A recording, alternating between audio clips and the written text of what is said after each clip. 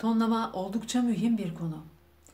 Sesimizin şiddeti, diyafram kasımızı kullanarak aldığımız nefes, yüzümüzün aldığı şekil yani mimiklerimiz, vücudumuzun aldığı şekil, tavırlarımız, edamız, duruşumuz bunların hepsi harmanlanarak tonlamayı oluşturuyor.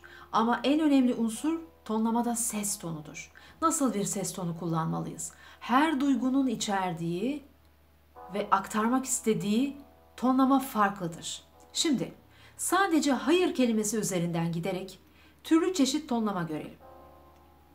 Normal seste kabul etmiyorum manasında bir hayır nasıl deriz? Hayır.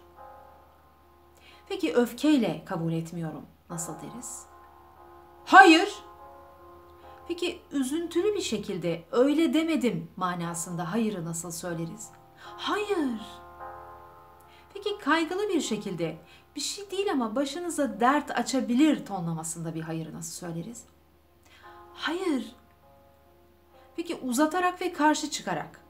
Yani yanılıyorsunuz ama işin aslı şu demek istiyorum. Nasıl bir tonlamayla olur? Hayır.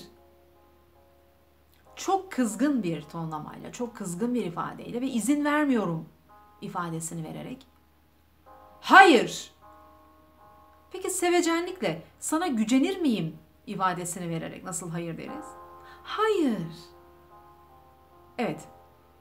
Kaç tane hayır dedik? 3, 4, 5, 7 tane farklı hayır dedik ama hepsi farklı tondaydı. Bakın 7 tane hayırı arka arkaya söyleyelim. Hayır, hayır, hayır, hayır, hayır, hayır, hayır. Tonlama olmadan 7 tane hayırı böyle söylerim. Ama az önceki gibi hayır, hayır, hayır, hayır, hayır, hayır. İşte tonlama bu.